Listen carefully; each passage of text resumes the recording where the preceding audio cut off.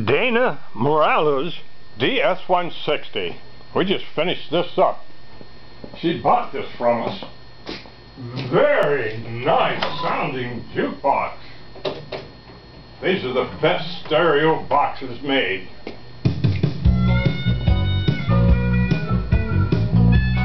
Low volume.